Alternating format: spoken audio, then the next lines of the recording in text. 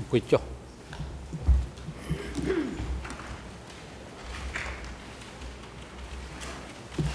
អង្គជំនុំជម្រះប្រកាសបន្តកិច្ចដំណើរការនីតិវិធីសកម្មការ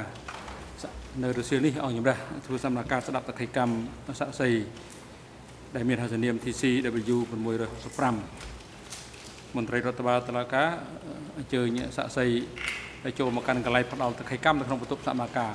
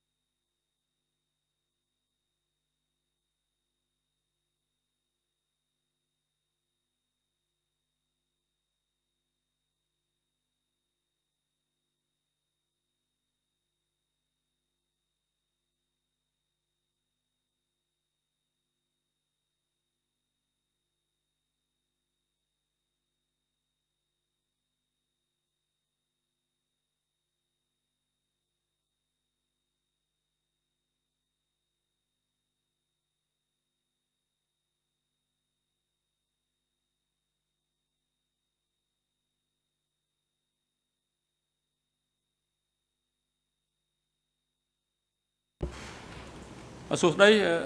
លោកស័ក្តិសិទ្ធិតើលោកឈ្មោះអីបាទសូមគោរពលោកប្រធានខ្ញុំឈ្មោះសុករឿបាទអរគុណលោកសុករឿតើលោកមានអាយុប៉ុន្មានបាទខ្ញុំអាយុ52អរគុណហើយទីលំនៅសពថ្ងៃរបស់លោកតើលោករស់នៅទីកន្លែងណា បាទស្រុកតពាំងប្រាសាទខេត្តរតនមានជ័យបាទហើយសប្តាហ៍នេះលោកប្រកបមុខរបរអ្វីបាទធ្វើស្រែចំការអរគុណហើយឪពុកបង្កើតរបស់លោកគាត់ឈ្មោះអីម្ដាយបង្កើតរបស់លោកគាត់ឈ្មោះអីពុកបង្កើតឈ្មោះដោយយ៉ាដោយ ម្ដាយបង្កើតឈ្មោះយ៉ាញែវអរគុណហើយប្រពន្ធរបស់លោកគាត់ឈ្មោះអីហើយលោកមានកូនប្រមាណអ្នក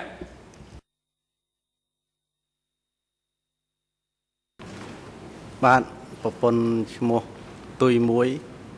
បាទមានកូន2នាក់ អរគុណហើយលោកសុករឿតាមរបាយការណ៍របស់កលាមជីសមនាការកាលពីព្រឹកថ្ងៃទី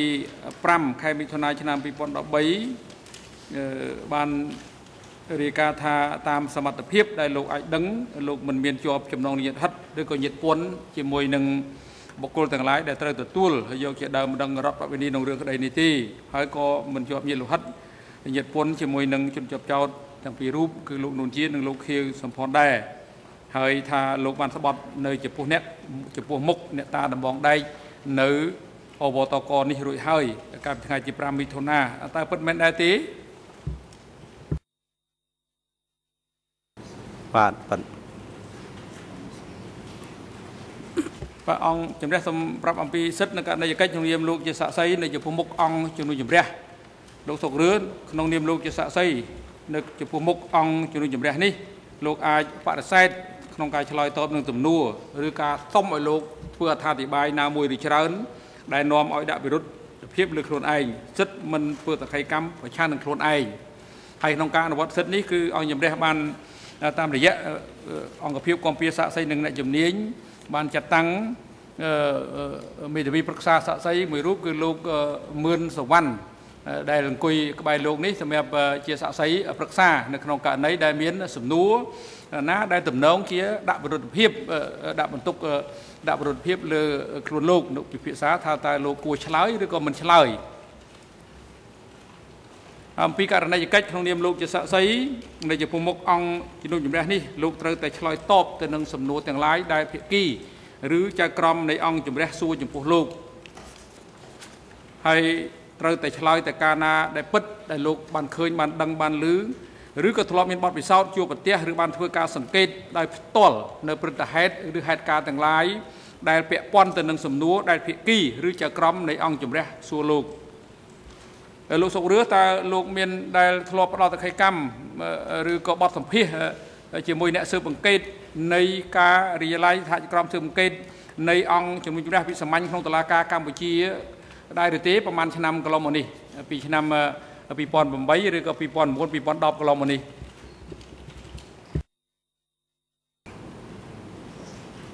បាទអត់មានមានតែលោកមេធាវីរបស់លោកខេសំផនមកជួបខ្ញុំបាទអរគុណហើយក្នុងការសួរដេញដោលស្ដាប់តក្កីកម្មសាក់សីរូបនេះអង្គជំរះសូមផ្ដល់វិធីការជូនទៅក្រុមមេធាវីការពីក្តីលោកខៀវសំផន តាំងទម្រួតដេញដោលចំពោះសាក់សីរូបនេះមុនភាគីដទៃទៀតនឹងរឿងក្តីហើយអង្គជំរះសូមជម្រាបថាមេធាវីទាំងពីរក្រុមគឺខៀវលោកមេធាវីការពីក្តីខៀវសំផននិងរួមទាំងមេធាវីការពីក្តីលោកនួនជាមានរយៈពេល15នាទីក្នុងការសួរសាក់សីនេះហើយមុននឹងតាំងទម្រួតសូមឆ្លើយផងថាតើការបែងចែកពេលវេលាជាមួយនឹងមេធាវីការពីក្តីលោកនួនជាយ៉ាងម៉េច ពីព្រោះការតាំងទម្រួតនេះមានរយៈពេលដាច់ពីគ្នាគឺដំបូងហើយនឹងចុងក្រោយទើបយើងបកគលឲ្យជូនទៅមេធាវីការពីក្តីលោកនួនជាបាទលោកប្រធានសូមបញ្ជាក់អមិញលោកប្រធានមានប្រសាសន៍ថាបកគលពេលវេលាឲ្យ15នាទីឬមួយក៏1ម៉ោង15នាទី1ម៉ោង15នាទីយើងបានជម្រាបជូនដំណឹងរួចហើយទាំងទៅរົບនឹង1ម៉ោង15នាទីប៉ុន្តែសូមបញ្ជាក់ផងព្រោះ1ម៉ោង15នាទីនឹងពីរក្រុម ប៉ុន្តែក្រុមនេះយើងមិនធ្វើជាប់គ្នាទេគឺធ្វើដាច់គ្នាពីព្រោះមេតាវីនការពីក្តីនួនជាគាត់នឹងមានឱកាសចុងក្រោយគេបង្អស់នៃកិច្ចដំណើរការបាទសូមអរគុណលោកប្រធាន តាមសញ្ញារបស់ខាងក្រមមេធាវីលោកនួនជាប្រហែលជាគាត់មិនត្រូវការពេលវេលាទេអញ្ចឹងខាងខ្ញុំនឹងចាត់ចែងពេលវេលានេះតាមការគួរសូមអញ្ជើញបាទបាទសូមអរគុណ លោកប្រធានសូមគោរពក្រុមប្រឹក្សាជំនុំជម្រះអឺលោកសុករឿខ្ញុំមេធាវីគង់សំអនជាមេធាវីរបស់លោកខៀវសំផនហើយតទៅនេះខ្ញុំមានសំណួរមួយចំនួនដើម្បីជម្រាបសួរលោកដើម្បីឲ្យលោកជួយបញ្ជាក់ដល់អង្គជំនុំជម្រះពីបញ្ហាតាក់ទងទៅនឹងរបបកម្ពុជាប្រជាធិបតេយ្យដែលមាននៅក្នុងសំណុំរឿង002ហើយជាពិសេសយើងក៏ចង់ឲ្យលោកបញ្ជាក់អំពីអត្តចរិតរបស់លោកខៀវសំផនផងដែរ លោកស្ដាប់ខ្ញុំបានទេ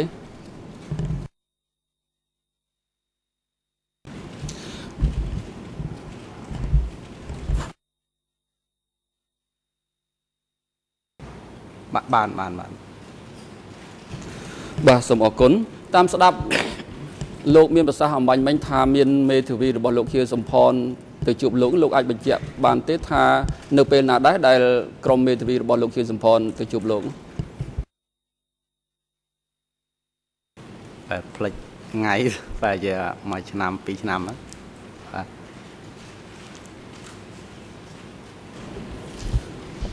បាទសូមអរគុណខ្ញុំបានស្ដាប់ឈ្មោះរបស់ឪពុកម្ដាយលោកបាញ់មិញនេះតើលោកជាជនជាតិភាគតិចហើយជាជនជាតិអីដែរទៅលោកអាចបញ្ជាក់បានទេ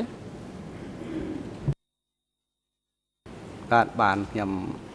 នៅជនជាតិភាគតិច ជាជនជាតិតំពួនបាទនៅរតនគិរីបាទសូមអរគុណលោកនៅរតនគិរីរហូតដល់ឆ្នាំណាដែលលោកចេញមកភ្នំពេញបាទខ្ញុំចេញមកភ្នំពេញចុង76បាទ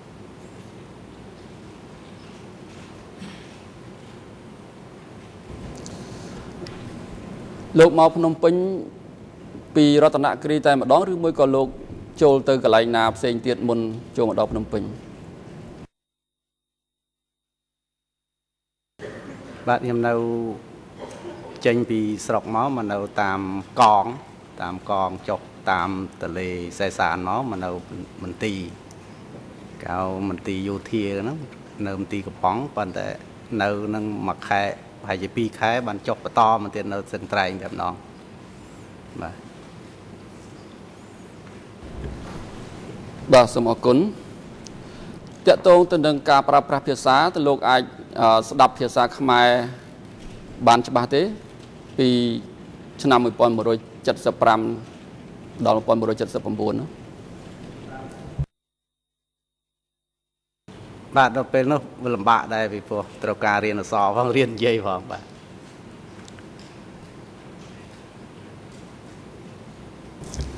បាទសូមអរគុណលោករៀនអក្សរលោករៀន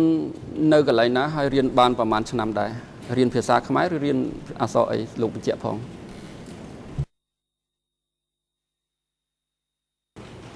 បាទខ្ញុំរៀនភាសាខ្មែរពីព្រោះ រៀននោះអត់មានសាលាទេរៀននៅរបៀបថានៅកន្លែងណាឲ្យបងបងគាត់ចេះអញ្ចឹងទៅចេះតែរៀនរៀនមួយគេទៅ បាទនៅពេលវេលាដូចជាម៉ោងផុតពីម៉ោងធ្វើការ ពេលល្ងាចឬថ្ងៃត្រង់បាទឆ្លៀតរៀនពីព្រោះអឺនិយាយទៅវាតាក់ទងភាសានិងការសរសេរខ្លះចឹងទៅតិចតួចចឹងទៅបាទ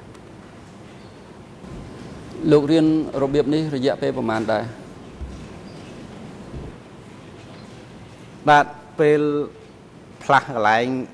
ម្ដងម្ដងឧបមាថាខ្ញុំនៅចេញពីស្រុកខ្ញុំមកមកដល់នៅមន្ទីរយោធាចេញពីហ្នឹងមកមកនៅស្ទឹងត្រែងនៅនឹងបាន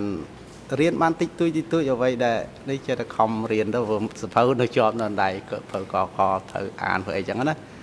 ហើយមកបន្តនៅពេញបានរៀនជាប់រហូតមកចេះតែរៀនដោយខ្លួនឯងចឹងទៅមានគេចេះចេះបង្ហាត់ តតចឹងបាទសូមអរគុណលោកមានបានរៀនជាផ្លូវការទេឧទាហរណ៍ចូលរៀនថ្នាក់ទី1ទី2ទី3តាមរយៈសិក្សាធិការនៃសម័យណាមួយទេ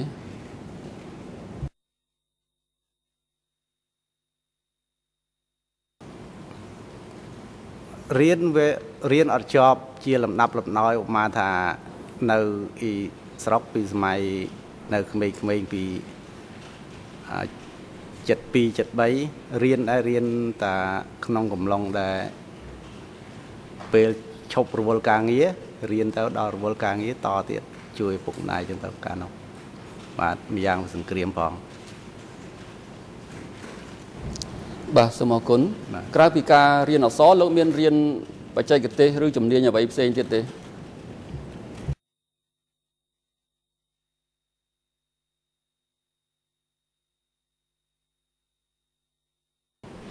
បាទអត់បានរៀនទេ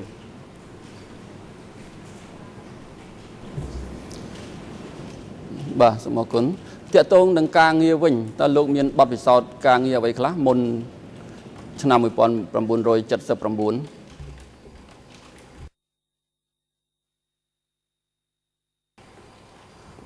បាទបទពិសោធន៍ការងារដូចជាមិនមានក្រៅពីអាការងារជំវិញនៅកន្លែង បោះច្រាស់ឬក៏ជំរះស្មៅដាំបន្លែរៀនសូត្រអីមិនហ្នឹងបាទអត់មានការងារចេះទេផ្សេងទៀតទេ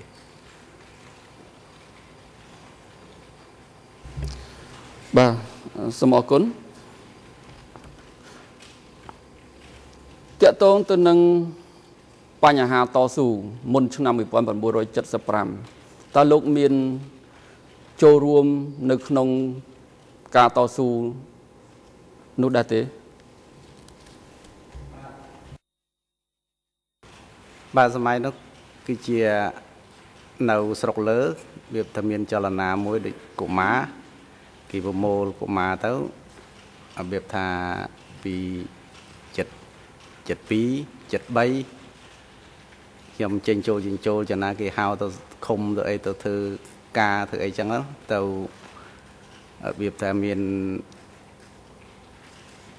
ណែ រៀបចំធ្វើស្រែឬក៏ធ្វើជាការអញ្ចឹងគេតែងតែហៅប្រមូលកុមារអញ្ចឹងទៅដែរបាទ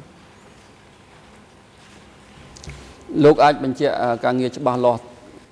ផ្សេងទៀតទេមានទៀតទេទីក្រៅពីការធ្វើស្រែធ្វើចំការនេះ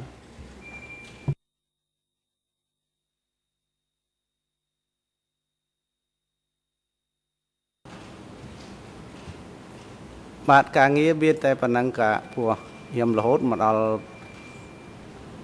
ចិត្ត3 73 74ចូលរបៀបថាពាក់កដាលកងចល័តពាក់កដាលកុមារកាលហ្នឹងនៅធ្វើការនៅធ្វើទៅស្រែទេភាគច្រើនខ្ញុំធ្វើស្រែជាប់ទៅមាត់ទន្លេមកខាងទន្លេសែសានអញ្ចឹងមិនសូវដែលមកនៅផ្ទះទេបាទបាទសូមអរគុណនៅពេលដែលលោកចេញមកភ្នំពេញ តើលោកមានទំនាក់ទំនងអ្វីដែរហេតុអីបានជាលោកត្រូវបានគេនាំមកភ្នំពេញ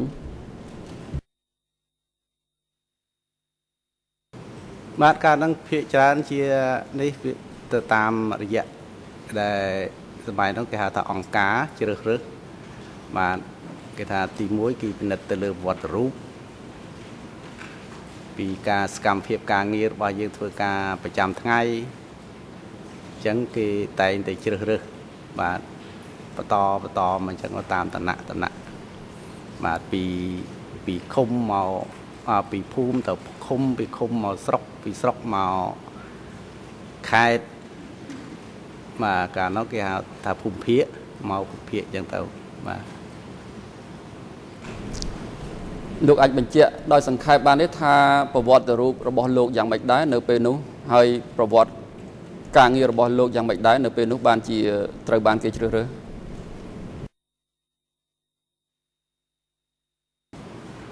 បាទជាសកម្មភាពរបស់ខ្ញុំរាល់ការងារតែគេឲ្យធ្វើខ្ញុំអត់ដែលប្រឆាំងអត់ដែលបដិសេធអញ្ចឹងចេះធ្វើគេឃើញគេធ្វើអីក៏ធ្វើយើងអត់ដែលចេះត្អូញត្អែអីយ៉ាងម៉េចទេអត់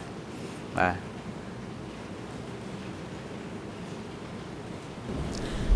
បាទចុះមានបញ្ហាតាក់ទងរឿងវណ្ណភាពអីទេ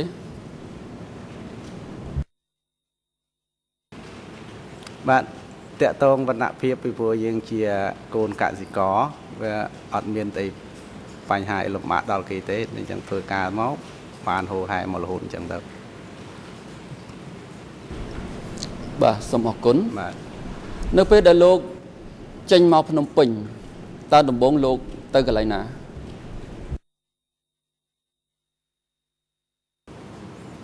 បាទចេញពីស្ទឹងត្រែងមក ចូលមកកាលហ្នឹងគេដឹកក្លុកលៀនមករហូតមកចូលក្នុងក8បាទក18អញ្ចឹងក10ក8ក18បាទចូលឡើងហ្នឹងហើយជាប់មួយក1មន្ទីរហ្នឹងជាប់មួយក1តែម្ដងនៅមាត់ទន្លេបាទអឺលោកអាចបញ្ជាក់ម្ដងទៀតព្រោះមិញខ្ញុំស្ដាប់ឮដូចក8ផងក18ផងហើយលោកយកមួយណាពិតប្រកប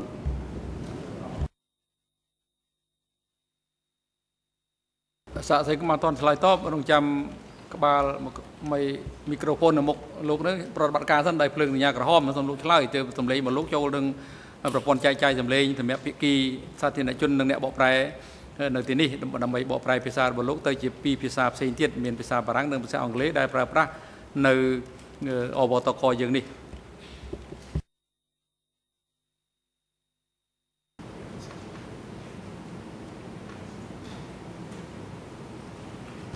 បាទសូមលោកឆ្លើយថាក8ឬក៏ក18ក8បាទបាទអញ្ចឹងក8អញ្ចឹងណាបាទបាទបាទសូមអរគុណលោកអាចបញ្ជាក់បានទេថាក8នឹងជាកន្លែងធ្វើអីដែរបាទកន្លែងដាំបន្លែបាទគេដាំបន្លែយកទៅណាលោកដឹងទេ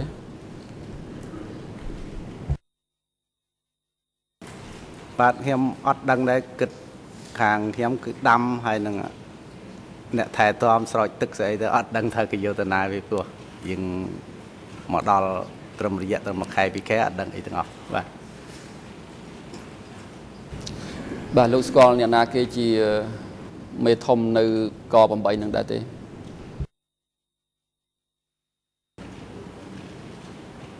បាទកាលហ្នឹងមានតែ ហ៊ូហានមក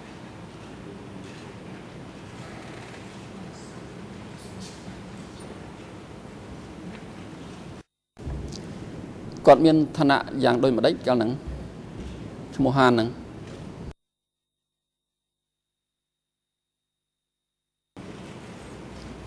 បាទពេលនោះគេថាគាត់ជាប្រធានមន្ទីរ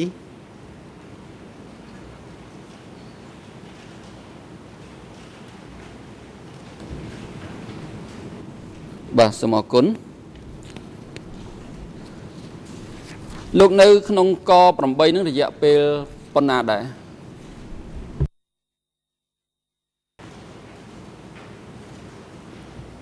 ប្រហែលជា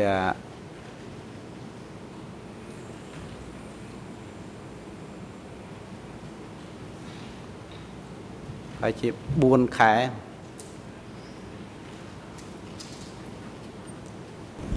ហើយលោកចេញទៅណាទៀតចេញមកកបានមកកមួយហេតុអីបានចេញដែរព្រោះយើងត្រូវដូរកន្លែងបាទចុះការងាររបស់លោកវិញ មានដូរពីការទួលខុសត្រូវនោះទេ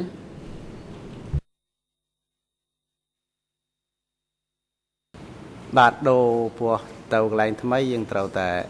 ដូរបើប៉ុន្តែវាអត់ខុសគ្នាទេវានៅតែជំរះស្មៅដាំបន្លែដដែល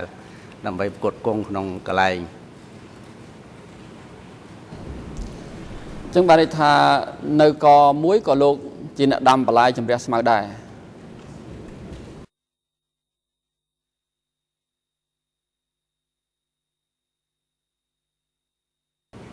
បាទដាំ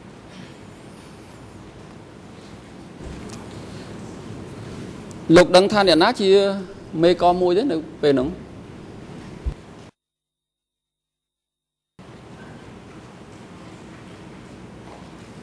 កន្លែងហ្នឹងដូចជាមិនសូវជាច្បាស់ប៉ុន្តែអឺឥឡូវពុឌីមគាត់ស្លាប់ទៅហើយមានតែពុឌីមទេដែលឧស្សាហ៍ជួបមួយពួកខ្ញុំពីព្រោះគាត់ជាជនជាតិខាងលើដែរលោកនិយាយពីឈ្មោះឌីម ឌីមនឹងជាអ្នកគ្រប់គ្រងលោកផ្ទាល់ឬក៏ជាអ្នកធំជាងគេបង្អស់នៅក្នុងកមួយហ្នឹង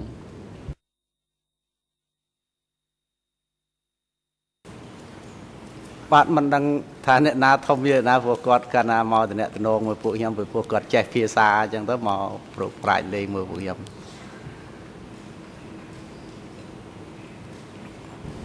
បាទសូមអរគុណលោកនៅកមួយរយៈពេលប្រហែលដែរ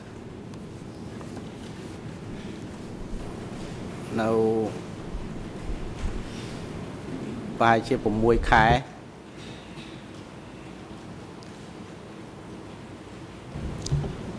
លោកដឹងថាកមួយជាកន្លែងអីទេ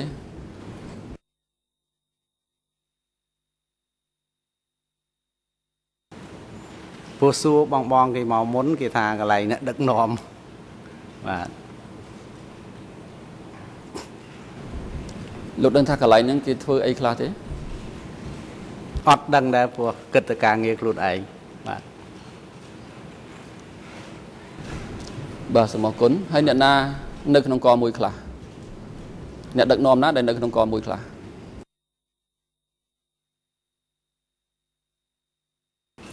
នឹងអត់ដឹងឲ្យព្រោះព្រឹកឡើងទៅធ្វើការបាត់អត់មានបានចាប់អារម្មណ៍រឿងអ្នកធំអីហ្នឹង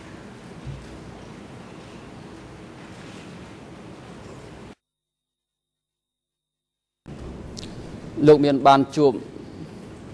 អ្នកអ្នកធំណាខ្លះនៅក្នុងកមួយនឹងដែរទេនៅក្នុងរយៈពេលដែលលោកធ្វើការនៅកមួយហ្នឹងបាទអត់ទេ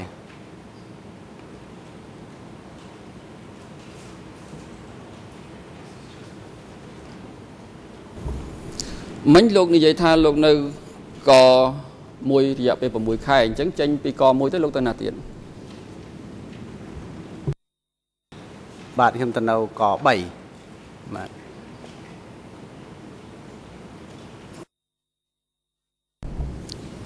លោកទៅនៅក3តែម្ដងឬមួយក៏លោកមានទៅកន្លែងណាផ្សេងមុននឹងទៅក3ទេអត់ទេទៅក3តែម្ដងបាទលោកអាចចាំពីអំឡុងឆ្នាំឬក៏ខែដែលលោកចេញទៅក3ទេ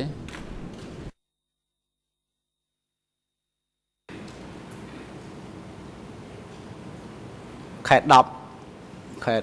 10ចុង77ហើយនៅ73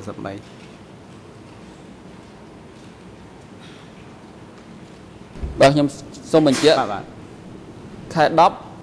77ឬ78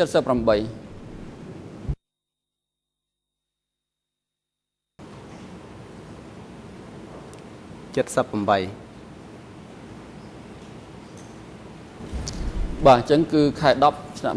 78លោកនៅបានប្រហែលខែនៅក្នុងក3ហ្នឹងនៅដូចរយៈពេលខ្លីទេពីព្រោះខែ3ខែ3 79វាដល់បាទជួយ78ដូចនៅខ្លីដែរអឺលោកនិយាយខែ3ខែ3អីគេលោកចង់និយាយពីថ្ងៃដែលរបបខ្មែរក្រហមដួលរលំបាទ សូមលោកបញ្ជាក់ថារយៈពេលដែលលោកនៅប្រហែលប្រហែលខែ3ខែឬមួយយ៉ាងម៉េចលោកសូមលោកជួយបញ្ជាក់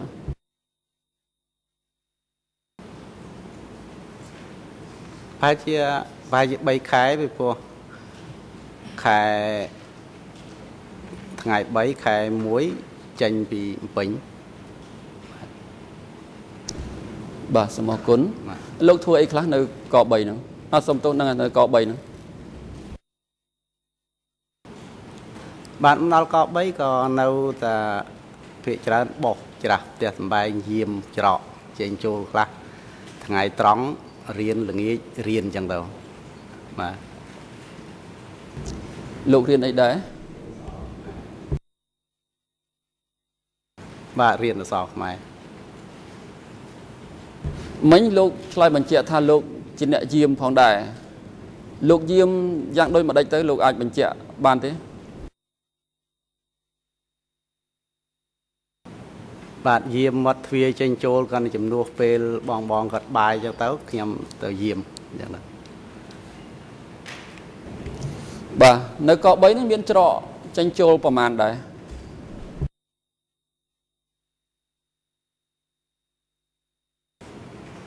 បាទ2មានទៅខាងកើតមួយខាងលិចមួយហើយលោកយាមនៅកន្លែងណា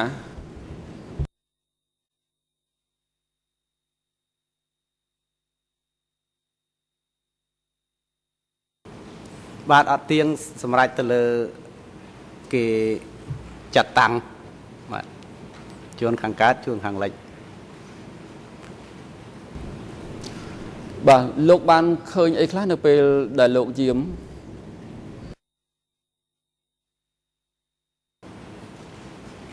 បាទពេលយាមដូចមិនឃើញអីបាទគាត់តែជំនួសគេចំណា1ម៉ោង2ម៉ោងអញ្ចឹងណា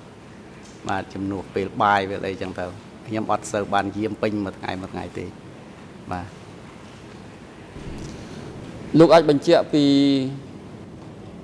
ថ្នាក់ដឹកនាំជាមេរបស់លោកផ្ទាល់ក៏ដូចជា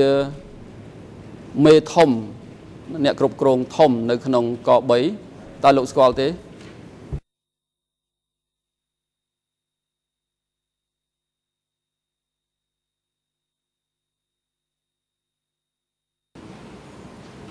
បាទធានមន្ទីរនគរ3មានដែលចំណាំដែលជួបមួយខ្ញុំមួយអីច្រើនដែលខ្មោចពូឌីមគាត់ស្លាប់បាត់ហើយ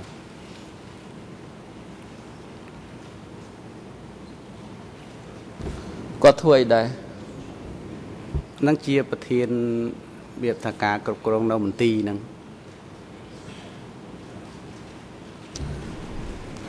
បាទគឺលោកមានដែលស្គាល់អ្នកដឹកនាំណា ខ្លះនៅក្នុងក3ទេបាទពេលបាទពេលនោះខ្ញុំអត់សូវបានគិតថាតើអ្នកណានេះទៅគិតថាភាកច្រើនតែជួបតែគ្នាឯងបាទពូពូដែលមកពីខាងលើខ្ញុំជួបប៉ុន្តែថាកន្លែងហ្នឹងកន្លែងអ្នកធំអីចឹងទៅអត់ដែលជួបគេទេអត់ទេបាទ លោកជួបគ្នារបស់លោកហ្នឹងលោកជួបអ្នកណាខ្លះ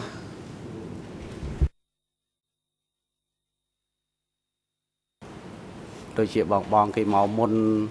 ខ្ញុំមួយខែពីរខែអញ្ចឹងទៅហើយផ្សេងដូចអឺខ្មោចពូសមីអីហ្នឹងខ្សែជួបអញ្ចឹងលោកមានជួបអ្នកណាអ្នកនៅរស់រៀនមានជីវិតរហូតដល់សពថ្ងៃទេ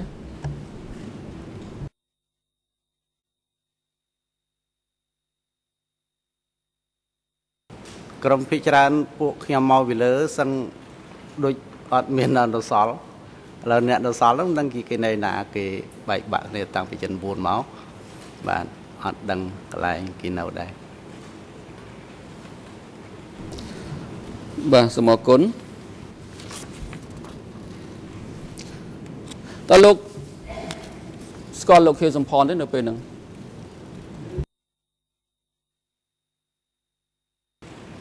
បាទឮតែឈ្មោះប៉ុន្តែអត់បាននេះទេឃើញឮតែឈ្មោះប្រហែលចិត្តស្និទ្ធរបស់គាត់ទេឮតែឈ្មោះហ្នឹងលោកឮយ៉ាងម៉េចឮតាមរយៈសារព័ត៌មានឬមួយក៏លោកឮតាមរយៈមិត្តភ័ក្តិឬមួយក៏ក្នុងលក្ខណៈបែបណាសូមជួយបញ្ជាក់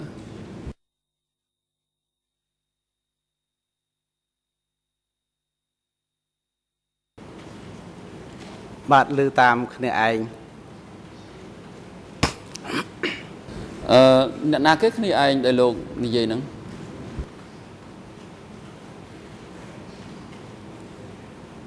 ដូចខ្មោចសឿនថនអឺ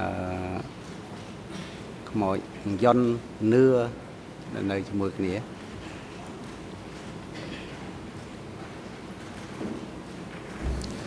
លោកដែលមានឱកាស និយាយជាមួយលោកខៀវសំផនដោយផ្ទាល់ទេនៅក្នុងពេលដែលលោកនៅជំក3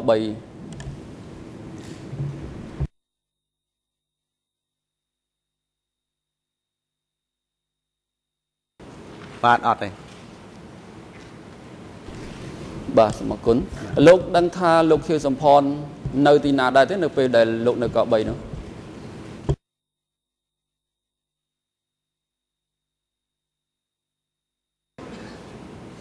ដឹងថាគាត់នៅនៅក3ដែរប៉ុន្តែគាត់ថាវាបែងចែកយើងយើងគឺយើងគឺគាត់គឺគាត់អញ្ចឹងបាទបាទសូមអរគុណមានអ្នកណាទៀតនៅក3ដែលជាអ្នកដឹកនាំនៅក្នុងរបបកម្ពុជាជាបតៃទេ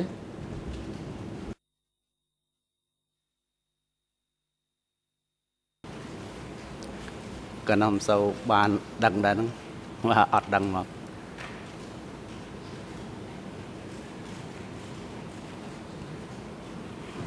ជាលោកដឹងថាលោកខៀវសំផនធ្វើអីទេក្នុងពេលដែលលោកនៅក្នុងក3នោះ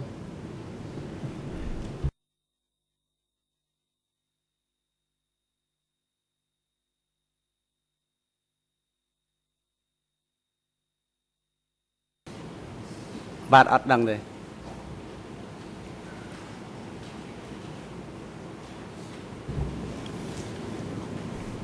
ដល់លោកដឹងពីការហូបចុករបស់លោកខៀវសំផនដែរទេនៅពេលដែលលោកនៅក3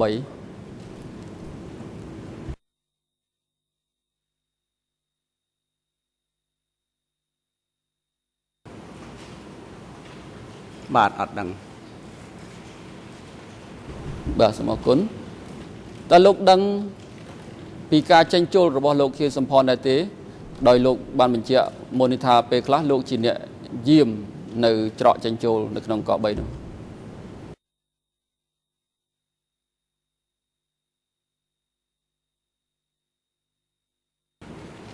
បាទអត់ទេ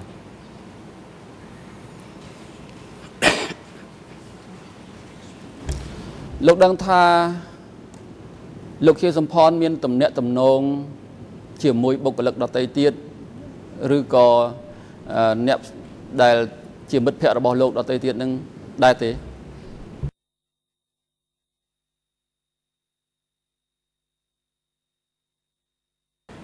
បាទកាលនោះអត់ដឹងទេបាទសូមអរគុណតើលោកស្គាល់ខៀវសំផនច្បាស់នៅពេលណា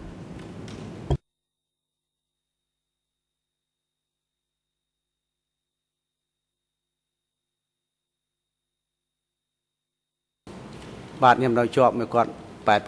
89ពីឆ្នាំណាដល់ឆ្នាំណា ពីឆ្នាំចាប់ផ្ដើមបែករហូតដល់89ឬពីឆ្នាំ89រហូតមកដល់ក្រោយមកទៀតសូមលោកជួយបញ្ជាក់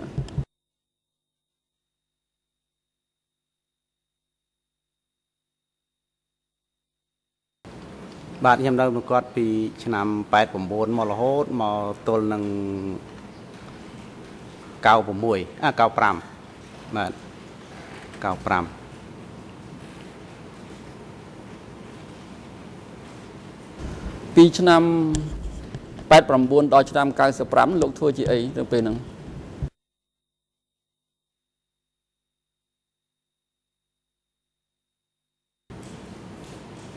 កងការពាររបស់គាត់នៅមកគាត់តែម្ដង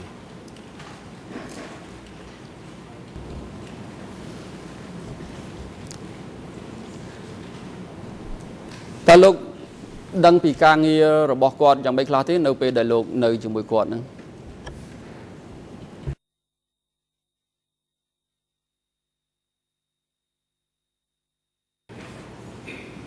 បាទឃើញតែគាត់ធ្វើការជាប់ជាមនុស្សជាអ្នកធ្វើការមកចត់ហើយខ្ញុំការងារខ្ញុំគាត់ការងារការងាររបស់គាត់ចឹងទៅបាទ លោកអាចបញ្ជាក់ពីទីកន្លែងបានទេលោកធ្វើការជាមួយគាត់នឹងនៅ ឆ្នាំ89ហ្នឹងនៅកន្លែងណា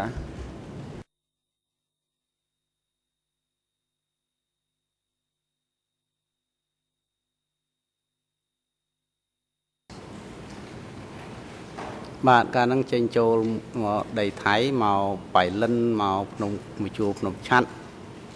បាទ មជួរលងវែងបាទសូមអរគុណតើពេលវេលាដែលលោក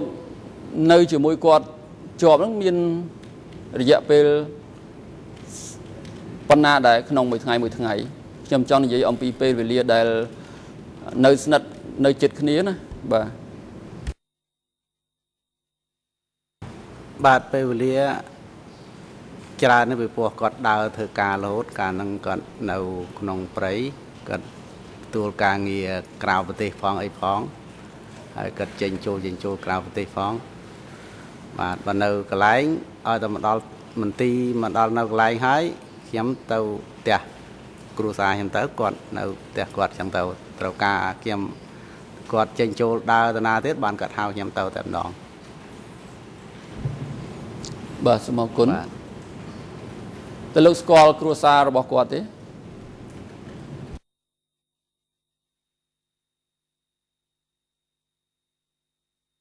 បាទស្គាល់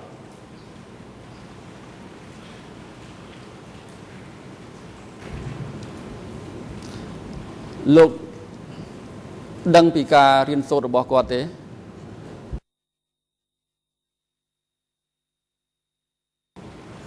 បាទទៅដឹងយើងក្រោយនេះពីដើមអត់ទេពីមុនមកអត់ទេដល់លោកដឹងពីប្រវត្តិការងារឬក៏ទូនីតិរបស់គាត់ពីសម័យមុនមុនរហូតមកដល់បច្ចុប្បន្នហ្នឹងទេ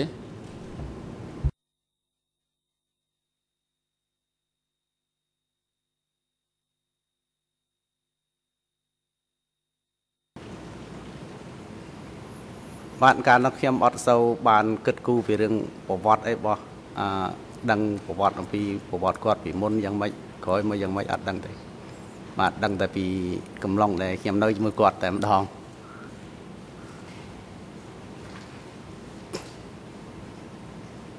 បាទសូមអរគុណលោកអាចបញ្ជាក់អំពីអកប្បកិរិយាឬការប្រព្រឹត្តរបស់លោកខៀវសំផនបានទេនៅពេល ដែលលោកនៅជាមួយគាត់នោះលោកសង្កេតឃើញយ៉ាងដូចម្តេចដែរ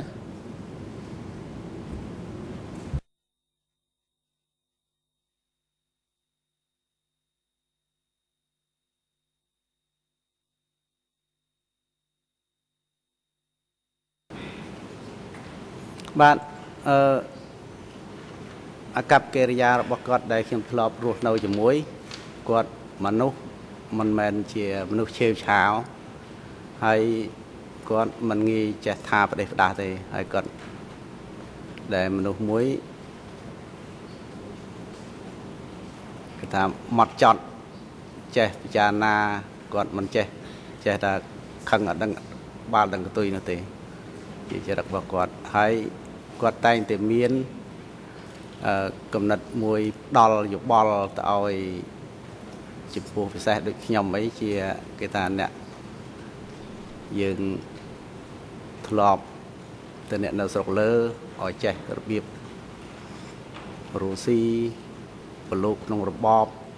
សង្គមមូលធនអីចឹងគាត់តែងតែនិយាយអញ្ចឹងការចង់ចាំរបស់ខ្ញុំគឺអញ្ចឹងបាទនេះបញ្ជាក់នៅអតចរិតរបស់គាត់គាត់មិនដែលមើលងាយកសិករទេបាទ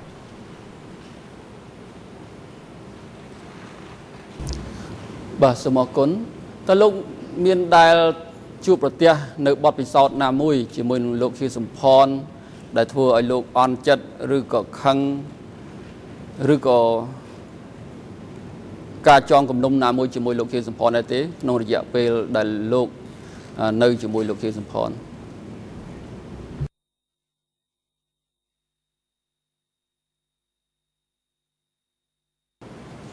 បាទទល់ថ្ងៃនេះខ្ញុំក៏អត់មានពិពោះអឺនិ យាយរួមក៏អត់មានអត់មានគាត់កម្រនិយាយរួមគាត់អត់ដែលស្ដីបន្ទោសពីរឿងការងារទេ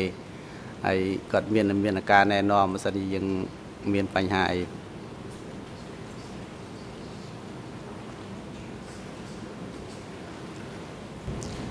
បាទសូមអរគុណចុះអ្នកដតីវិញលោកដែលឃើញ ការប្រព្រឹត្តរបស់លោកខៀវសំផនដោយខូខើឬក៏ស្ថានភាពណាមួយ ដែលលោកគាត់សម្គាល់ ចំពោះមិត្តភ័ក្តិរបស់លោកឬក៏អ្នកក្រមបង្គាប់របស់លោកខៀវសំផនដតីទៀតទេ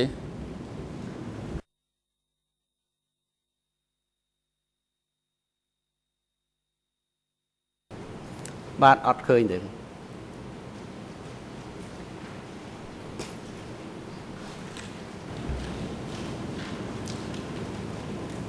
កតងទៅនឹងទស្សនៈនយោបាយតើលោក អាចធ្វើការអត្ថាធិប្បាយឬក៏យល់អំពីលោកខៀវសំផនដែលធ្លាប់និយាយជាមួយលោកបែបណាដែរទេ លោកមានចាំបានទេ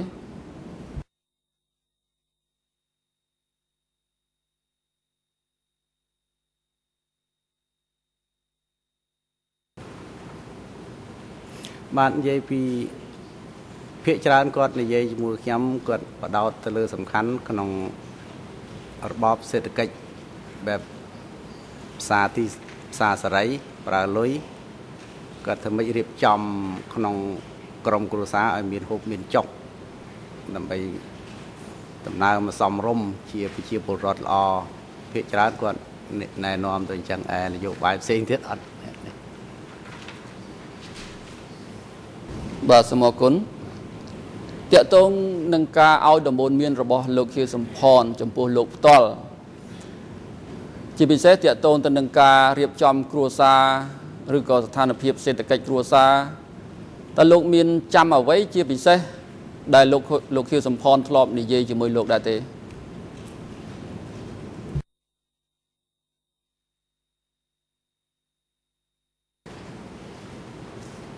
ដូចអត់មានក្រៅពីនឹងទៀត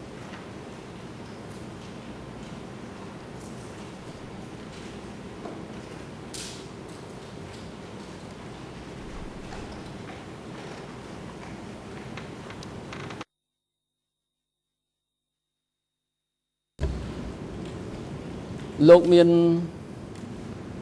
ចាំបានអ្វីដែលជាអំពើល្អរបស់លោកខៀវសំផនដែលលោកបានប្រព្រឹត្តចំពោះអ្នកដតីនៅក្នុងកំឡុងពេលដែលលោកនៅជាមួយលោកខៀវសំផនដែរទេ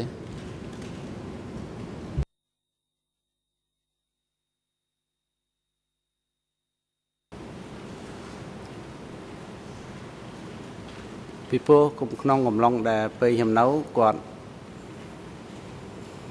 ណាចំពោះអ្នកដតីគឺ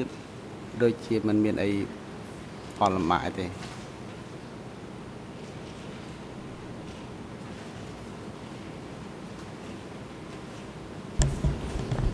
បាទសូមអរគុណលោកមានអ្វីចង់បន្ថែមថាជាអំពើល្អរបស់លោកខៀវសំផនចំពោះលោក ឬក៏ចំពោះអ្នកណាម្នាក់ដែលលោក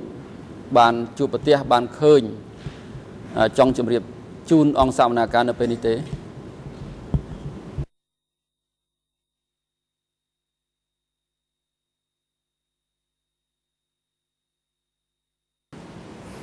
បាទអត់មានបាទសូមអរគុណលោកប្រធានខ្ញុំអស់សំណួរលោកអសុករឿខ្ញុំអស់សំណួរសូមអរគុណដែលលោកបានមកជួយឆ្លើយនៅទីនេះបាទសូមអរគុណលោកប្រធាន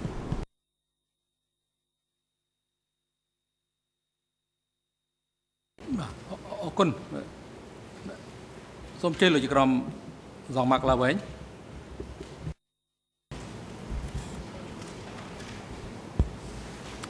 Oui, merci Monsieur le Président.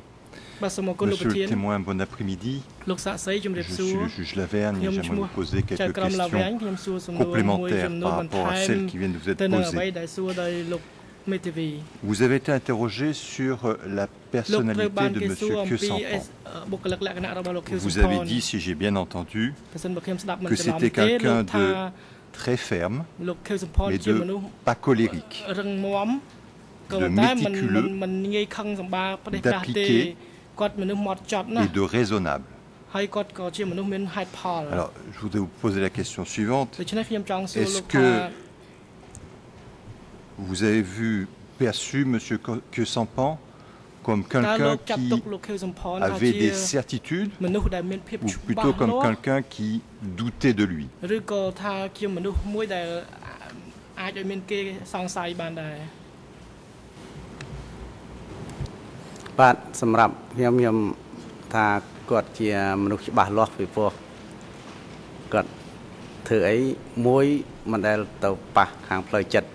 ខ្ញុំខ្ញុំថាគាត់ជាមនុស្សច្បាស់លាស់ពីព្រោះគាត់ធ្វើអីមួយមិនដែលទៅប៉ះខាងផ្លូវចិត្តខ្ញុំអីចឹងទៅខ្ញុំគិតថាជាច្បាស់បាទត្រឹមត្រូវ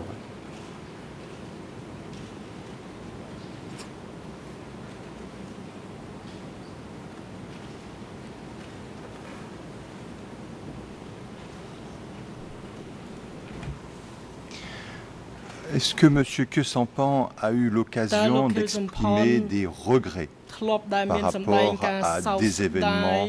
auxquels il ទៅ aurait លើ été mêlé ហេតុការណ៍ដែលថាគាត់ធ្លាប់បានជួបប្រទះដែរទេបាទរឿងហ្នឹងខ្ញុំអត់ដឹងដែរ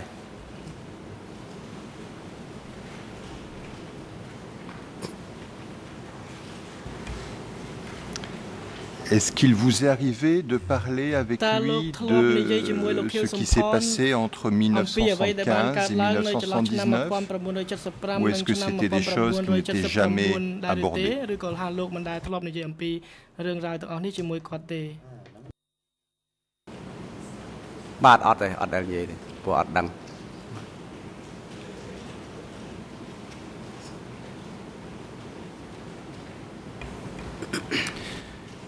Lorsque vous êtes arrivé à Phnom Penh, vous avez indiqué avoir été à K8, K1 et puis K3. Vous avez rencontré un certain nombre de personnes. Avez-vous remarqué si au cours des années où vous étiez à Phnom Penh, certaines personnes ont disparu.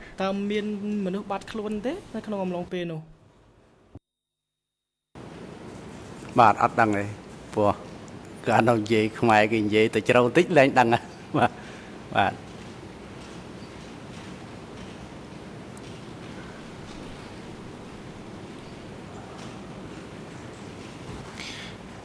Je ne vous parle pas de choses compliquées. Je vous demande si parmi les personnes que vous connaissiez,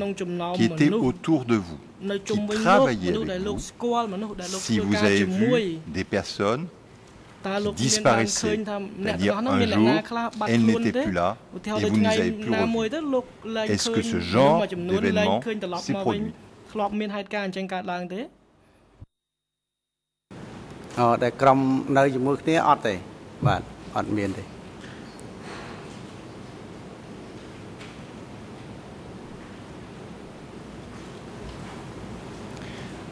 Avez-vous participé à ce qu'on តើ appelle លោកធ្លាប់ des séances de critique et d'autocritique វគ្គរិះ Est-ce que តិ ce sont ទៀន des និង mots ស្វ័យ que vous តិទៀន connaissez ដែរឬទេលោកស្គាល់ពាក្យទាំងពីរនេះទេ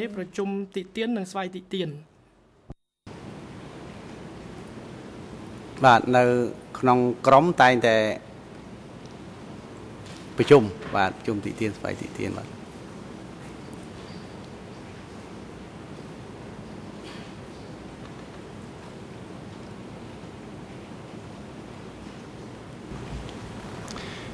Est-ce Et avec Monsieur Kyosampan, est-ce que vous avez parlé de séances, de critiques et តើមានការនិ d'autocritique យាយគ្នាអំពី Est-ce qu'il vous a dit quelque chose à ce Ouais. sujet ទីទៀននិងស្វ័យទីទៀននេះទេជាមួយលោកខៀវសំផននោះបាទនៅពេលពេលដែលខ្ញុំនៅមួយគាត់គាត់អត់បានចូលរួមទេប៉ុន្តែ ពួកខ្ញុំធ្វើតែពួកខ្ញុំទេបាទនៅសម័យកំឡុងដែលខ្ញុំនៅជាមួយគាត់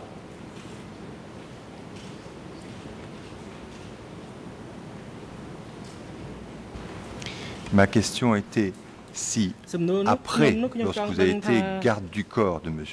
Kyosampan, vous avez parlé de cette expérience de séance de critique et d'autocritique. Est-ce qu'il vous a dit quelque chose à ce sujet?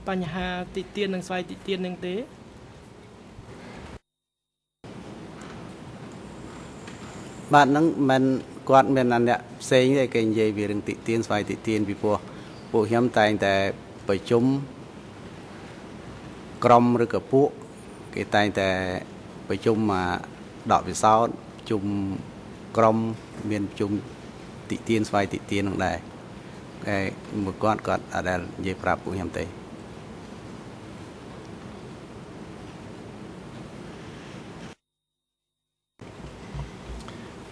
Quand tout à l'heure, vous avez dit que M. Kusampan était quelqu'un qui était ferme, est-ce que vous voulez dire par là que c'est quelqu'un qui savait commander et se faire respecter?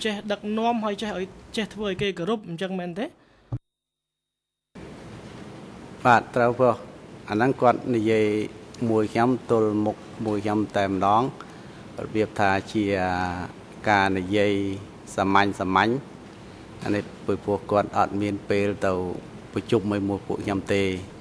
បាទអញ្ចឹងគាត់មានតែនិយាយរបៀបសាមញ្ញប្រុសប្រាជ្ញទៅក៏យើងយកជាផ្លូវការបញ្ជាក់ថា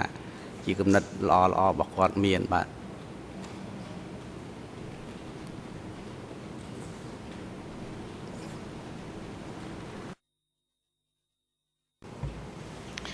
Mais quand M. Kyosampan vous donnait un ចុះ ordre, នៅពេលដែលលោកខៀ quand វសំ vous l'avez vu ផន donner des ordres, បញ្ជាឲ្យលោក C'était des ធ្វើអ្វី choses qui មួយ étaient ឬក៏ claires ឃើញ et គាត់ qui ចេញ étaient បញ្ជា exécutées. នោះគឺជា C'est ça ការ ce បញ្ជា qu'on ដែល doit មានលក្ខណៈ comprendre. ជាក់លាក់ឲ្យដែលគេត្រូវតែអនុវត្តតា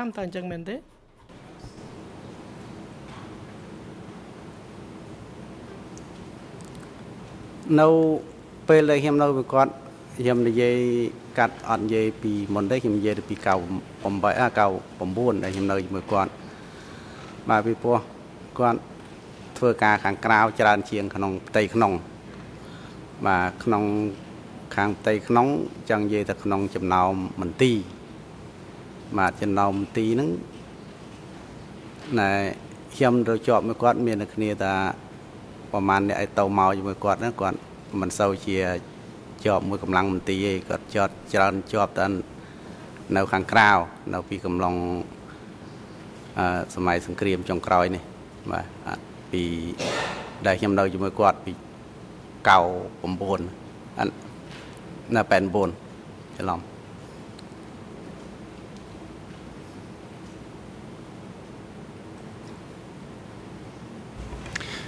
Peut-être que ma question n'était pas assez claire. Alors je vais vous poser la question suivante. Est-ce que pour vous, M. Kyosampan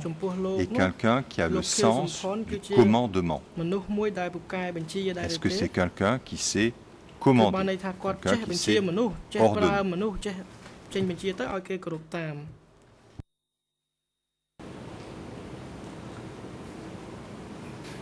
ប្រើមនុស្សចេះចេញបញ្ជាទៅឲ្យគេគោរពតាមបាទបញ្ជាបើអត់យល់មួយអត់របៀបបញ្ជាទៅហ៊ានឬក៏ជាបញ្ជាយ៉ាងម៉េចណាបាទ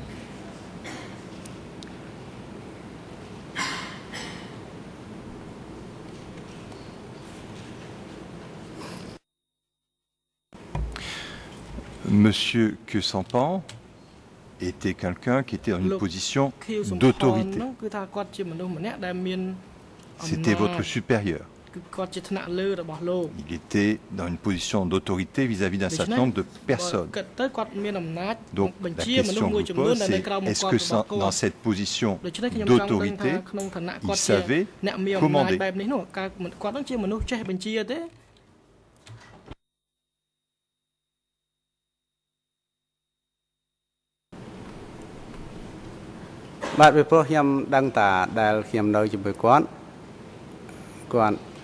រោះខ្ញុំដឹងតាដែលខ្ញុំនៅជាមួយគាត់គាត់របៀបថាមិនមែនបញ្ជាថារបៀបបញ្ជាអាជ្ញាទេ បាទគាត់តែងតែណែនាំហើយណែនាំហ្នឹងក៏ក៏មិនចង្កោមតែពួកខ្ញុំ3 4នាក់អញ្ចឹងដែលជំវិញគាត់ហើយភាគច្រើនគាត់ខ្ញុំជានាមជាការពារកិច្ចការមួយចំនួនខ្ញុំគាត់និយាយអំពីយាមកាម គឺខ្ញុំដឹងតែពីយាមកាមតែប៉ុណ្្នឹងទេបាទបាទហើយការដែលគាត់និយាយយើងត្រូវតែ ការងាររបស់យើងយើងធ្វើការងាររបស់គាត់គាត់ធ្វើតែម្ដងបាទហើយគាត់តែងតែណែនាំហើយយើងការពារយាមលៀបប្រឡប់អីចឹងទៅមើលទឹកក្តៅទឹកត្រជាក់ចឹងសម្រាប់គាត់បាទ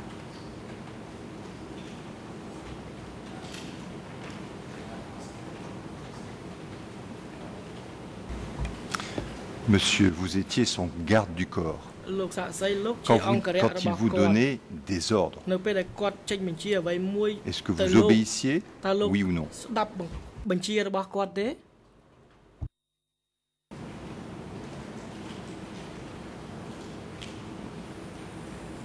បាទនៅក្នុងកំឡុងដែលខ្ញុំនៅជាមួយគាត់ពី89បាទពីព្រោះ សិទ្ធិគាត់ធំយើងអមមកទៅទៅមួយគាត់ត្រូវទៅទៅជាមួយគាត់អញ្ចឹងហើយបាទ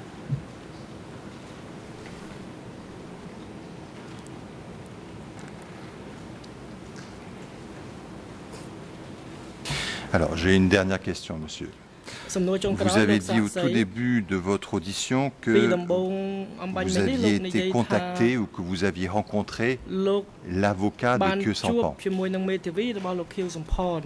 ជាមួយនឹងមេធាវីរបស់លោកខៀវសំផន Alors, je ne sais pas, est-ce qu'il y a quelqu'un dans cette salle d'audienceខ្ញុំ que មិន vous ដឹងថា reconnaissez comme étant la អ្នកណា personne ដែលលោកថា que vous avez ជាមេធាវី rencontrée ហ្នឹងលោកមានឃើញទេក្នុងបន្ទប់សវនាការហ្នឹងថាលោកជួបជាមួយអ្នកណាដែរដែលលោកថា De qui vouliez-vous Qui est parler météo- quand vous localisé dites que en vous Pologne. avez rencontré l'avocat de នៅពេល Kieu ដែលលោក Sampan និយាយថាលោកបានជួបមេធាវីរបស់លោកខៀវសំផនហ្នឹងតើលោកសំដៅលើអ្នកណាមួយលោកមើលទៅមើលលោកឃើញទេមានស្គាល់អ្នកណាទេនៅក្នុងបន្ទប់សវនាការហ្នឹង បាទអត់ ខ្ញុំតាជួបគេម្ដងមានមើលមុខគេផ្លេចបាត់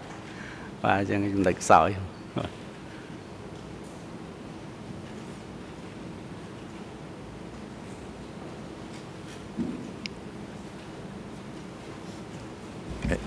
Cette personne, vous avez dit, c'est l'avocat de Kieu Sampan.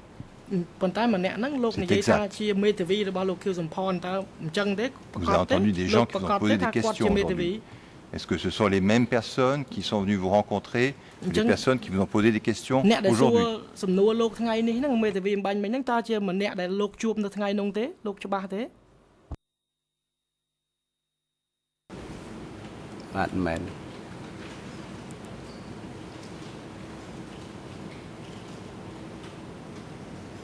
បាទមិនមែន Et alors, vous connaissez son nom De cette បើ personne សិនជាមិនមែនលោកស្គាល់ឈ្មោះគាត់ទេមេធាវីហ្នឹងលោកមេឈ្មោះអីដែរខ្ញុំអត់បានចាំឈ្មោះទៅនឹងបាទ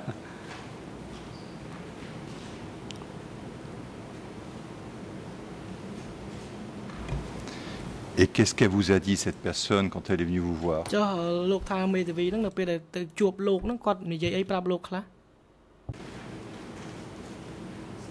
បាទគាត់សួររបៀបលោកមេធាវីនេះដែរគាត់សួរអំពីប្រវត្តិដើមតងដែលខ្ញុំរាយរាប់ប្រជំរាបលោកធីវីមេធាវី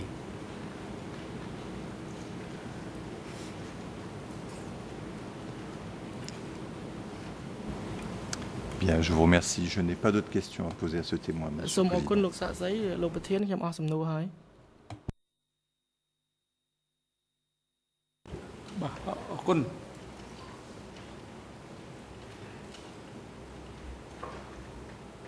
បាទខ្ញុំផ្ដល់វេទិកាជូនទៅក្រុមមេធាវីតំណាងថាបញ្ញាដើម្បីមានឱកាសតាំងសម្រួលដេញដោលចំពោះសាក់សីរូបនេះ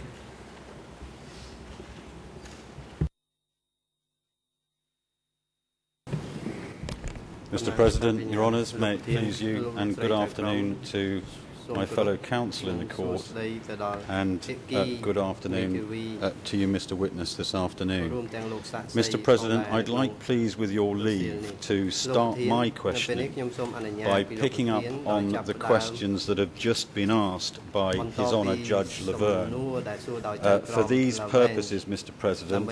I would like to show to this witness the front page of the following document. It is E3 slash 71. It is a sworn OCIJ witness statement from TCW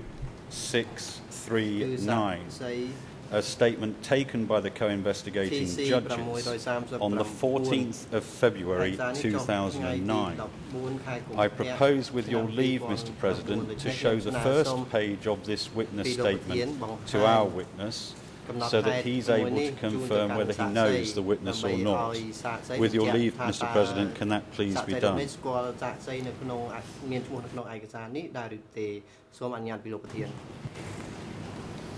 បាទអង្គមានអនុញ្ញាត《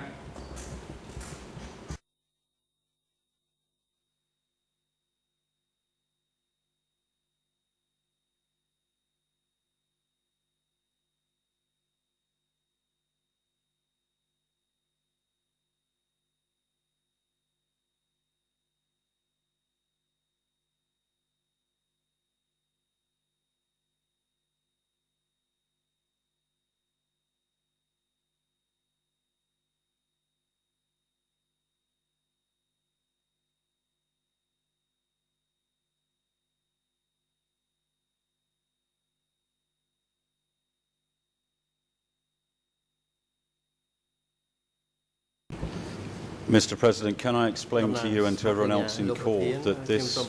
statement has literally been printed um, hot off the press by one of my learned colleagues on this team. I can only give um, English ERN numbers for the relevant pages.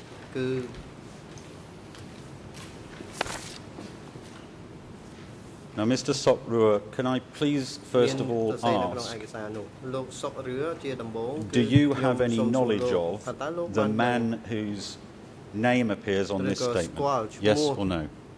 របស់បុគ្គលដែលមានសរសេរនៅក្នុងឯកសារនោះដែរឬទេតើលោកស្គាល់ឬក៏មិនស្គាល់លោកសុករឿងក៏អត់តឆ្លើយតបសូមអញ្ជើញលោកមេធាវីជាតិការពីក្តីលោកខៀវសំផន បាទសូមអរគុណលោកប្រធានខ្ញុំសូមឲ្យតំណាងសហព្រាញ្ញាមេត្តាបញ្ជាក់អំពីឯកសារនេះថាតើបានបញ្ចូលនៅក្នុង interface សម្រាប់ធ្វើការបត់បង្ហាញហើយឬនៅហើយម្យ៉ាងទៀតសូមឲ្យតំណាងសហព្រាញ្ញាបន្តប្រើនីតិវិធីដូចដែលធ្លាប់អនុវត្តកន្លងមកបាទសូមអរគុណ Um, I hope the lack of wisdom in that question becomes apparent immediately. This is something, Mr. President, that has arisen directly from testimony this afternoon. It's risen directly from testimony that we could not have anticipated because we did not have any prior statement from this witness. To use the Latin phrase, it has, written, uh, it has arisen ex improviso. There's therefore absolutely no way that this document could have been put on the interface. I hope that's apparent now to my learning friend. Can I please continue?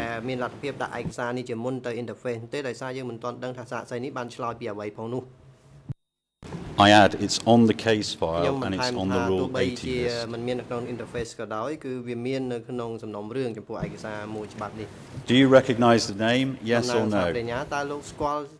ឈ្មោះទេលោកសាក់សីស្គាល់ឈ្មោះបុគ្គលដែលមានឈ្មោះនៅក្នុងឯកសារនេះដែរឬទេស្គាល់ឬក៏មិនស្គាល់បាទអត់ស្គាល់ទេ Right, well this is a witness and so everyone can follow on the English ERN.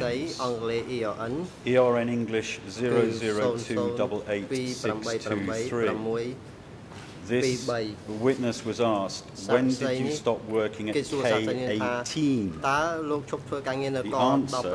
I worked at K18 until 1993 or 1994.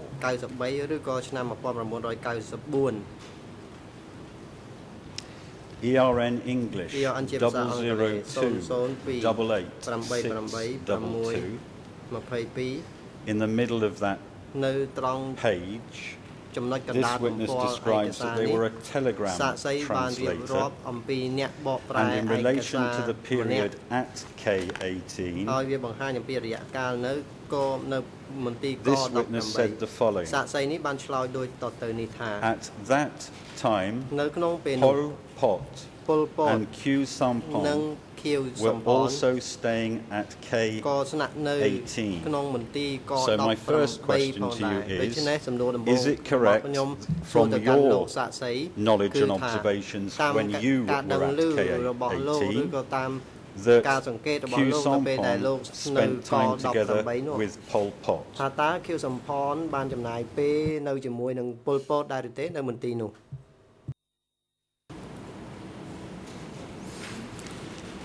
បាទខ្ញុំពេលនោះអត់ដឹងគេពេលដល់ពេល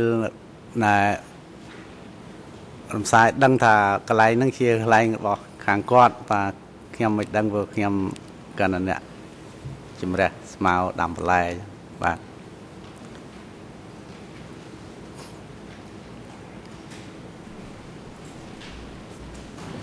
I think you're probably misunderstanding my question, Mr. Sokru. I'm not talking about the place you described as K8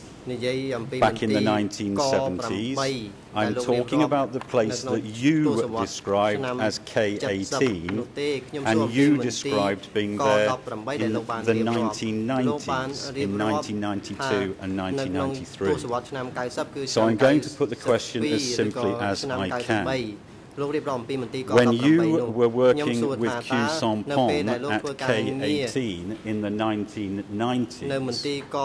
was Q Sampon working together with or ever in the company of Pol នៅពេលដែលលោកធ្វើការងារនៅមន្ទីរក18ក្នុងទសវត្សរ៍ឆ្នាំ90នោះតើលោកមានដែរឃើញលោកគៀសំផននៅរស់នៅជាមួយគ្នាជាមួយនឹងលោកពលពតដែរឬទេ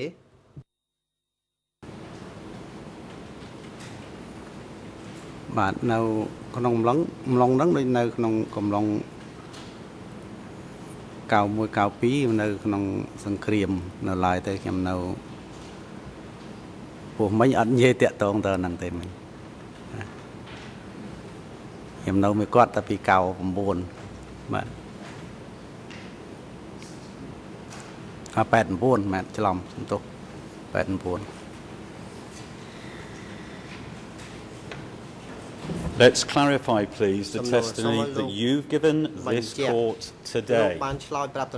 You have told this court that you worked with Q Sampong as his bodyguard from 1989 until 1995.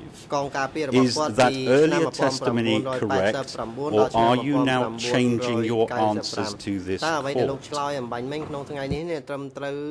តាមដែលខ្ញុំរៀបរាប់អំបញ្ញមិញដែរទេឬក៏លោកចង់កែប្រែទៅនឹងចម្លើយដែលលោកឆ្លើយអំបញ្ញមិញនេះ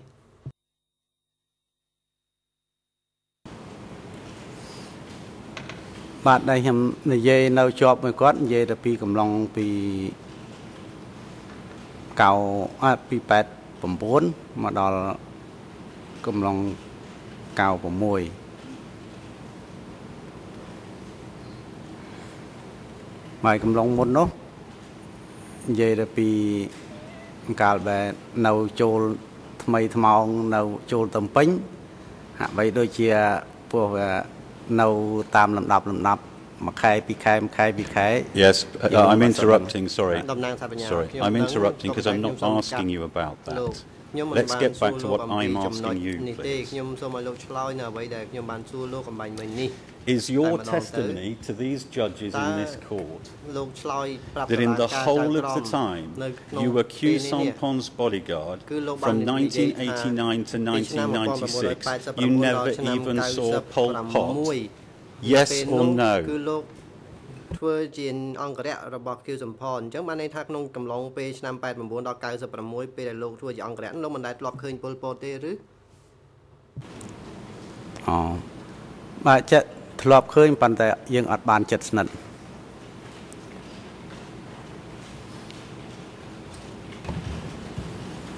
Q Sompom was close to him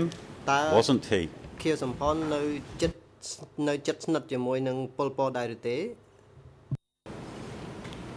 អានោះជាជាងកោមក្រុមដឹកនាំរបស់គាត់ខ្ញុំអត់សូវក្តាប់ជាប់អត់សូវដឹងដែរ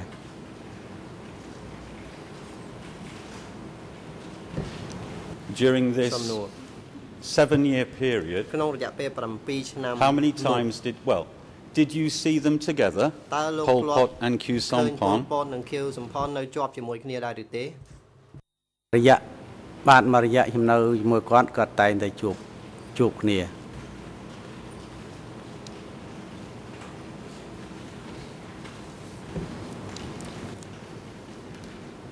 Where would they meet សំណួរតើពួកគាត់ទៅជួបគ្នានៅឯណាទៅ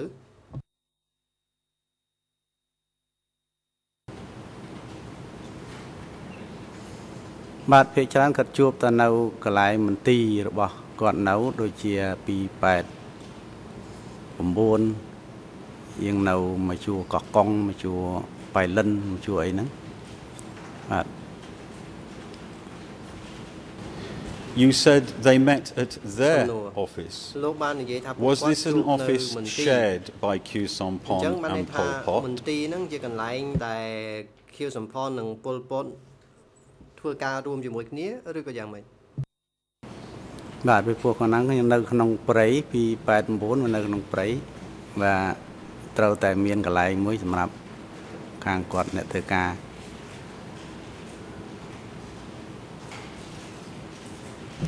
Did they work together quite often? តើពួកគាត់ពីរនាក់ហ្នឹងធ្វើការរួមជាមួយគ្នាហ្នឹងញឹកញាប់ទេ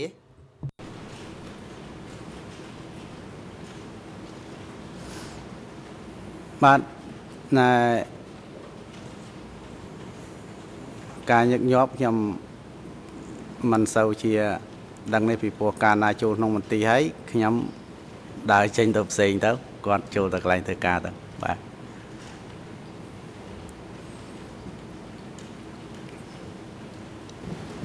Did Pol Pot have bodyguards សំណួរតើ Pol Pot មានអង្គរៈទេបាទមាន How often did you, as a bodyguard for Q Sompon, get together with Pol Pot's bodyguards? គៀសំផនតើលោកជួបជាមួយនឹងអង្គរៈរបស់ពលពតនឹងញឹកញាប់ប៉ុណ្ណាដែរបាទការការនោះនៅក្មេងៗតែដែលយើងជួបនឹងណនតែទៅជួបគ្នាបាទ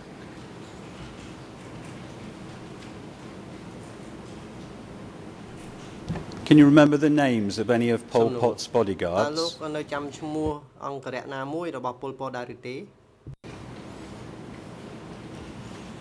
លើអង្គរៈភិកច្រើនមកសកលខ្ញុំវាបាត់បាត់បាត់បងច្រើនហើយអ្នកដែលនៅមិនដឹងគេនៅកន្លែងណាអត់ដឹងទេព្រោះដាច់ខ្សែរយៈគ្នាតាក់តង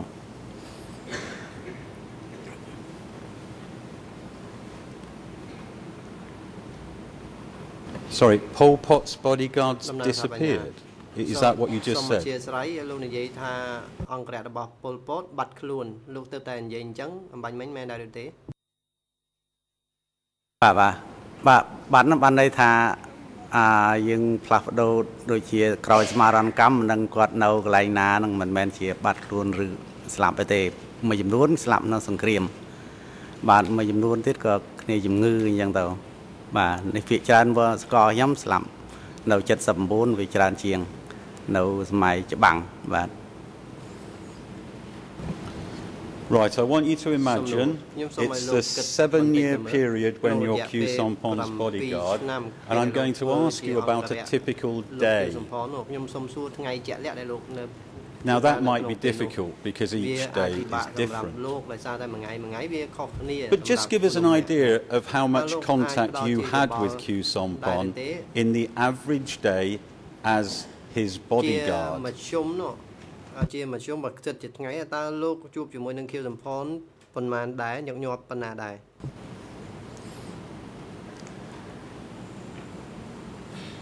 បាទលុះត្រាតែបើសិនជានៅកន្លែង គាត់អត់ចេញធ្វើដំណើរធ្វើការទៅណាឆ្ងាយគឺខ្ញុំខ្ញុំធ្វើការរបស់ខ្ញុំបាទហើយគាត់ការងាររបស់គាត់បើសិនជាគាត់ចេញទៅណាធ្វើការឆ្ងាយឆ្ងាយបានគាត់ហៅខ្ញុំទៅជាមួយព្រោះនៅកន្លែងខ្ញុំគាត់ធ្វើការងាររបស់ខ្ញុំអញ្ចឹងទៅ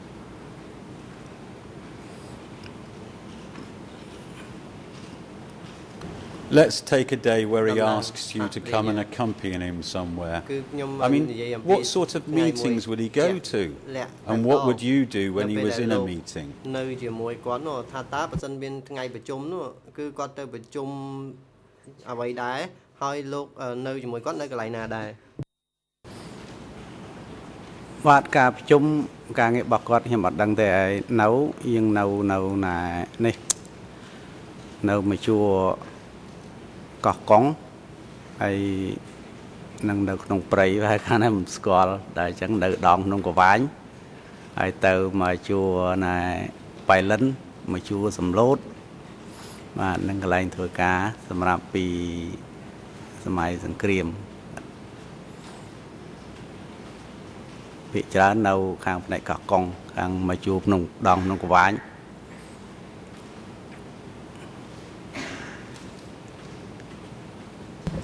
When you were at K18 for seven years, were there ever any meetings of all the cadre, all the soldiers of K18? រួមគ្នាឬក៏កោះហៅទាហានហ្នឹងមកជុំគ្នាប្រជុំនៅមន្ទីរក18ដែរឬទេ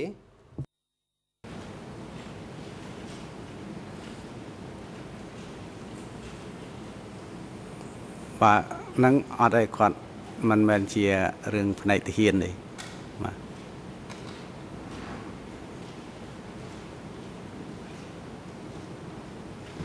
Right, I'm going back to the statement that we were referring to earlier. Page number English ERN 00288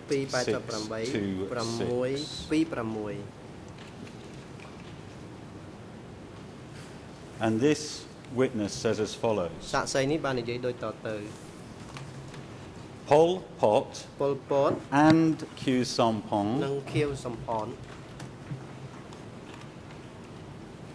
who were my direct supervisors ដែលជាមេផ្ទាល់របស់ខ្ញុំ were the persons who gave direct orders at K18 ចេញបញ្ជាដោយផ្ទាល់នៅមន្ទីរក18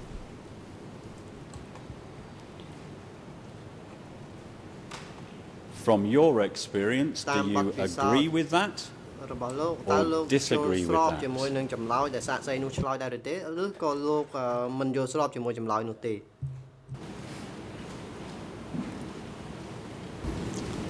អូខេ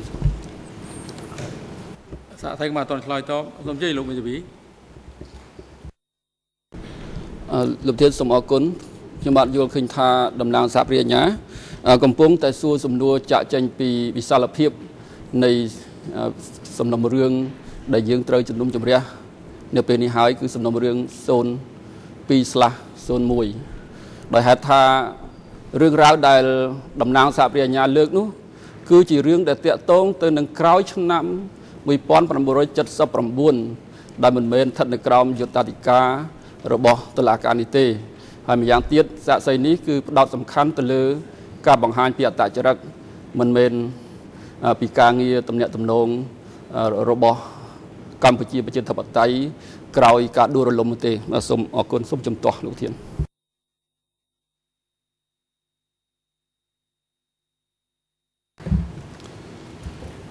Whether the defence has scored an own goal, I'll leave for others to judge. But, Mr. President, the reality is this. The defence asked for this witness. The defence indicated that this was a witness going to fact and character.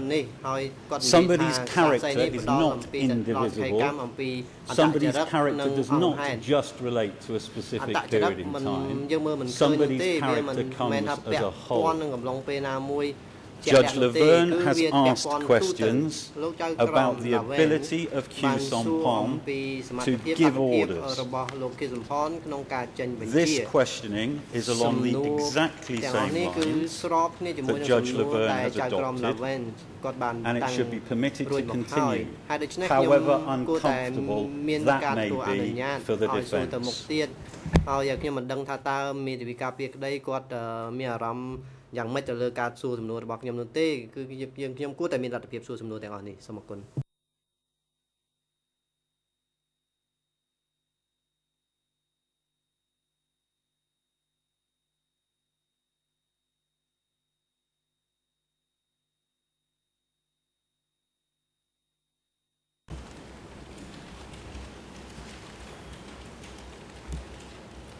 អង្គជំរះសម្រាប់បដិសេធចោលនៅតែជំទាស់របស់មេធាវីការពីក្តីដែលបានជំទាស់នឹងការតាំងទំនួលនេះហើយសំណួរនេះគឺសំស្របដែលអង្គជំរះត្រូវការស្ដាប់សក្តិឆ្លើយតបទៅនឹងសំណួរចុងក្រោយដែលសួរឡើងដោយតំណាងសហប្រញ្ញាអមៃមីនេះ Mr. President, can I please repeat the question given the objection? Mr. Witness, Sok. I'm referring, as you know, to another witness statement. And this witness states in his statement to the investigating judges the following, and I quote,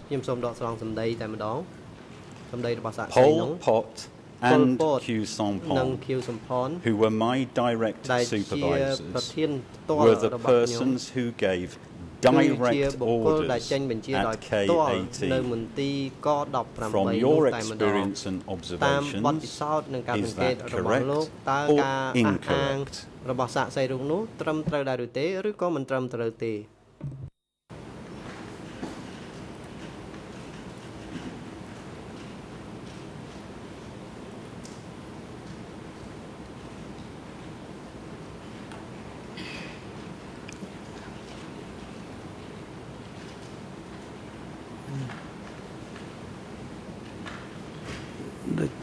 បស់សាកសីរូបនោះត្រឹមត្រូវដែរឬទេឬក៏មិនត្រឹមត្រូវទេបាទអក18ដូចជាខ្ញុំនិយាយអំពីក3នេះអក3ហ្នឹងនៅនេះទេអក18ដូចនៅដូចអត់បាននិយាយទៅក8មានតែក3 Forgive me, Mr. Sokru. Please don't try and avoid the question. Judge Laverne has put to you specific questions about Q Sompon's ability to lead and him giving orders.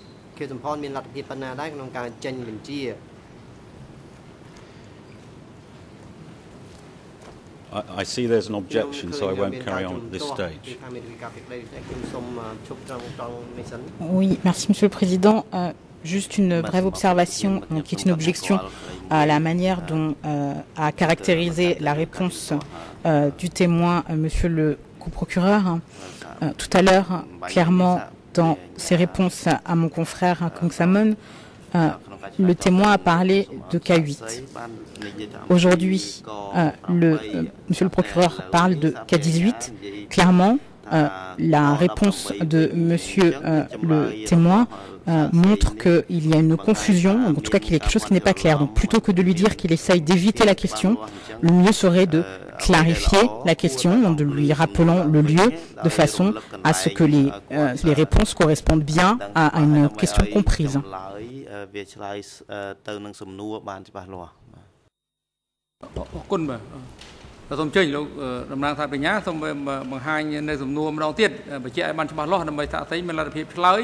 សូមចេញលោកតំណាងថាបញ្ញាសូមបង្ហាញនៅសំណួរម្ដងទៀតបញ្ជាក់ឲ្យបានច្បាស់លាស់ដើម្បីថាស្អីមានលទ្ធភាពឆ្លើយហើយបញ្ជាក់អំពីចំណុចខ្វែងគ្នាផងហើយចំណុចក3ក8និងក18ហ្នឹងគោលបំណងនៃការសួរហើយនឹងអ្នកឆ្លើយហ្នឹងគឺអត់វាឆ្ងាយគ្នាពេករវាងដាក់មន្ទីរទីតាំងនៃមន្ទីរកដែលពាក់ព័ន្ធនឹងការសួរហើយនឹងអ្នកដែលត្រូវឆ្លើយ Let's be absolutely clear. You have described the office that you worked at as K18 from 1989 to 1996 Is this office K18 yes or no តើលោកសាក់សីគឺលោកធ្វើការងារនៅមន្ទីរក18មែនដែរឬទេចន្លោះឆ្នាំ89ដល់96នោះដល់ឆ្នាំ1996នោះ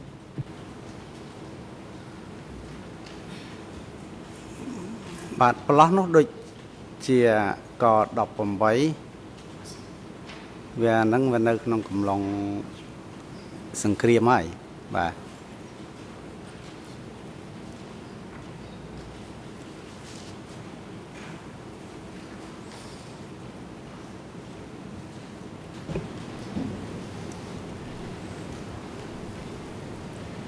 in the whole of the time that you were working with Coupon Sompon ការងារជាមួយនឹង Q Sompon Are you saying តើលោកនៅពេលនេះកំពុង that you never saw or heard him give a direct order មិនដែលឃើញលោកខៀវសំផនឬក៏មិនដែលធ្លាប់ឮគេប្រាប់ថាខៀវសំផនចេញបញ្ជាដោយផ្ទាល់ទេឬបាទរឿងបញ្ជាខ្ញុំអត់ដឹងទេបង បាទ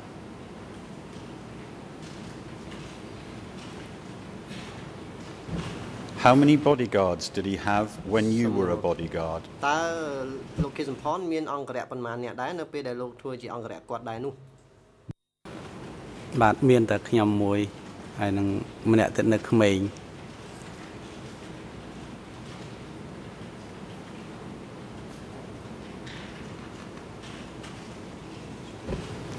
I'm going back to some other themes now ខ្ញុំចូលទៅដល់ប្រធានបទមួយផ្សេងវិញ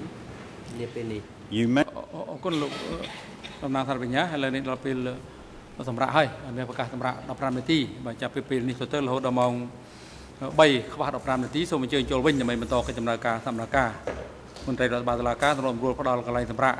នៅបន្ទប់រងចាំសម្រាប់សាក់សីនិងអ្នកជំនាញដល់សាក់សីរូបនេះក្នុងអំឡុងពេលសម្រាប់នឹងឲ្យអញ្ជើញគាត់ត្រឡប់មកកាន់កន្លែងផ្ដល់កិច្ចកម្មនេះវិញ នៅវេលាម៉ោង3ខ្វះ15នាទីសម្រាប់ចុះសូមអញ្ជើញក្រោកឈរ